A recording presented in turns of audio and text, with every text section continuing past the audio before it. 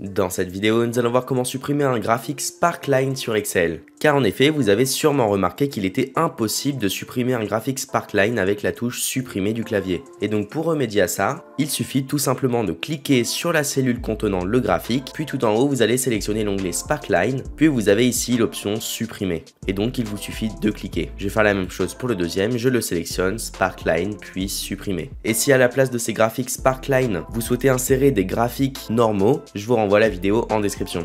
Et voilà, n'hésitez pas à nous donner d'autres idées en commentaire, à vous abonner à la chaîne, à commenter, à liker la vidéo et on se retrouve pour plus d'astuces et de tutos en une minute.